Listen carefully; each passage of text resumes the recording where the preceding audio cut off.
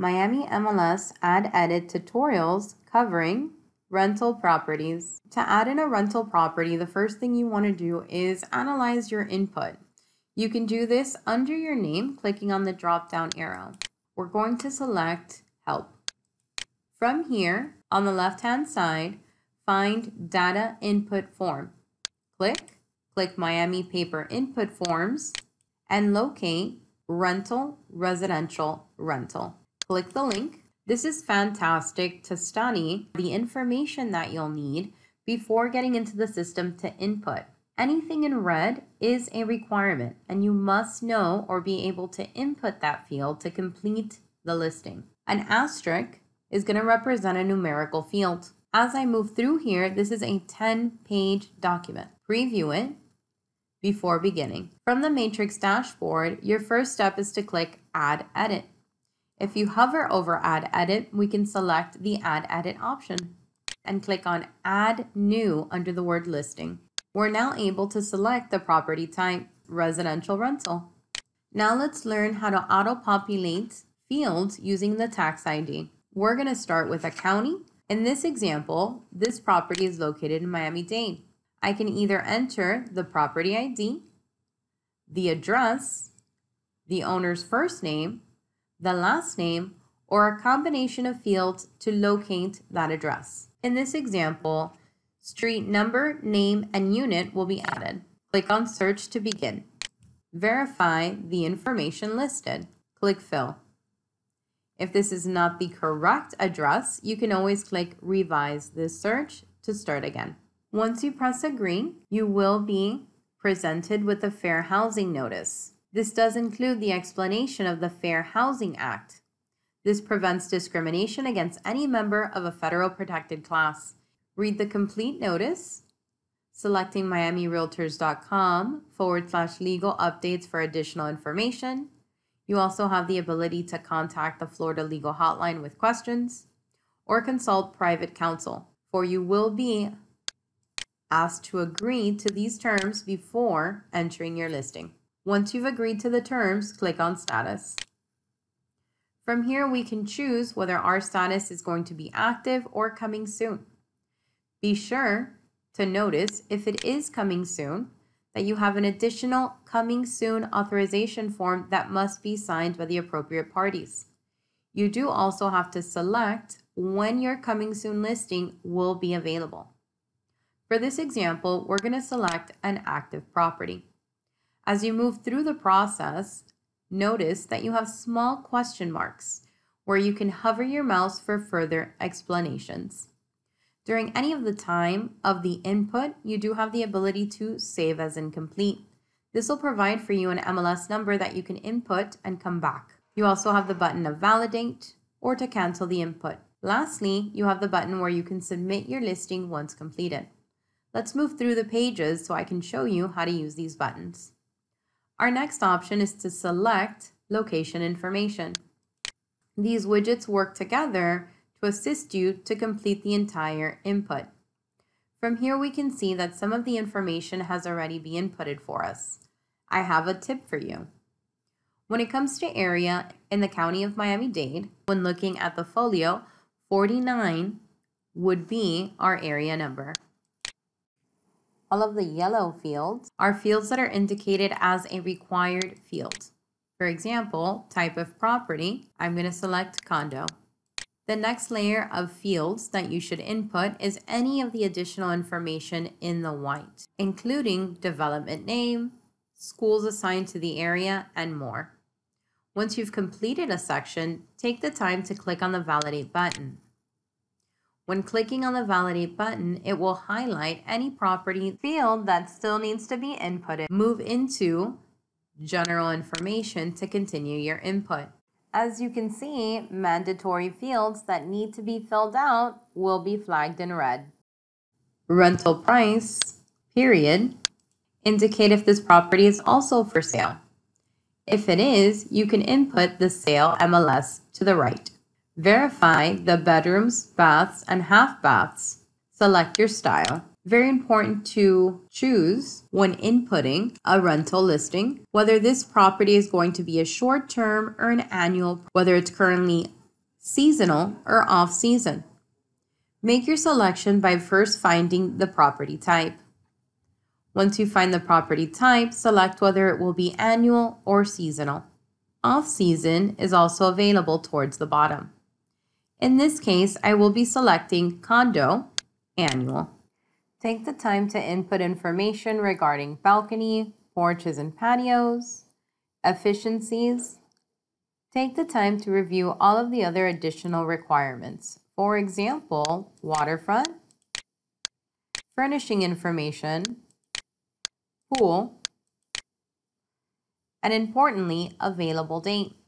This means, aside from the listing date, when will the unit be available to move in?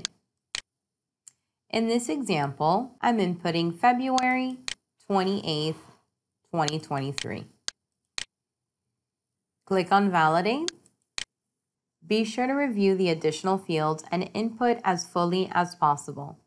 Scroll down to Features and input information regarding the view, water access, construction, design, floor, roof description, and dining area. Select all that apply to the property. Click Validate before you finished and move on to Remarks.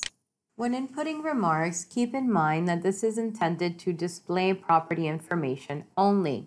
Information like contact information should not be entered inside of remarks.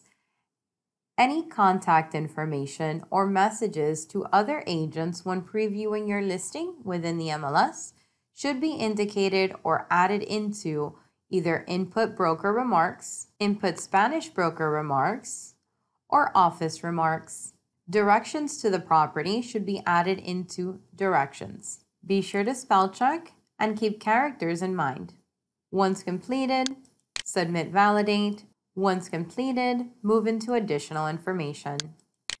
Verify pet information, keeping in mind if there's any possible pet restrictions. Take the time to preview and input information regarding interior features, security, equipment, and more. Be sure to answer any rental restrictions, maximum of three, and verify if you're an owner agent. Once you've completed additional information fully and to the best of your ability, move over into rental information. Mandatory information to input include the application fee, the move-in cost, and if the rental is renewable. Other important information to keep in mind is how long is the approval process? One or two weeks, three or four weeks, is there an application fee required? You have maximum three inputs. Indicate the term of the lease. You can include one year with renewal, one year only, lease option, month-to-month -month lease, and more. Rental deposit include is also essential. For example, I will be selecting first month, second month, and security deposit will be included in the rental deposit. The last mandatory field on this page is HOPA, Housing for Older Persons Act. No HOPA, unverified, or verified. I will be selecting no HOPA in this case. If you are inputting a short-term rental, then the important fields here are, will be up at top and on the right-hand side. This includes where you can add in different rental rates based on whether it is a furnished or unfurnished annual rent, furnished or unfurnished seasonal rent, furnished or unfurnished off-seasonal rent. On the right-hand side, you can also indicate the status. For example, January, we can select if that short-term rental is rented as annual, not available, off-season, rented, or seasonal. The agents can then verify month with the indicated rental amount. Lastly, on the left-hand side, a minimum lease period and the number of times that the unit can be leased a year are essential for short-term rentals. Fill the information fully. Once you've completed the input, select the tab Office Information. Within Office Information, your listing ID, contact information, and office information will be automatically inputted. If you are working with a co-agent, you can add in their license here. Compensation and miscellaneous information is very important that we address. Mandatory fields include whether the address will be available on the internet, input seller representation, input the listing date and expiration date, and compensation due to the transaction broker, buyer agent, and non-rep. Indicate if there will be a variable dual rate, and the occupancy information within the home. Showing instructions can be added here. A maximum of three can be selected. Indicate if there's a renewal commission. Lastly, website address, video virtual tour, and photo instructions must be added. You can choose to have ImmoViewer auto-populate or create a virtual tour. If you have your own, you can add it under video virtual tour. Or if you have another URL that you'd like to present, you can add it under URL. In addition, we have photo instructions. You can click to indicate that you yourself will be adding 1 to 99 photos to this listing or to allow a preferred photographer to upload. Once all of your selections have been made, validate. If you see that there is no red indicators of missing information, we are ready to proceed. Based on your MLS access, you can either save as incomplete and provide the information to your office to complete the activation process, or if you have full MLS access, you can then submit the listing. I do suggest to save as incomplete throughout the input process. In addition, once you've saved the incomplete listing, I would take the time to add or edit the photos. If you yourself are adding in your photos, click Add Edit Photos.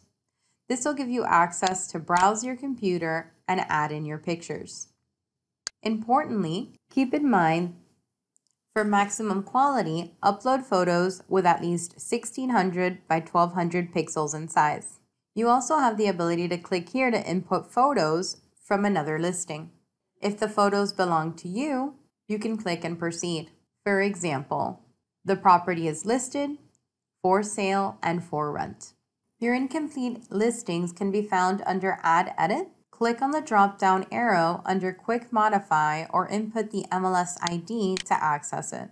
From here, you can always click on Residential Rental to return to finish editing, change to active, or assign your open houses. As we scroll down, you have additional information such as configuring your showing time to show your property, managing your photos, attachments, and more. Always more with Miami.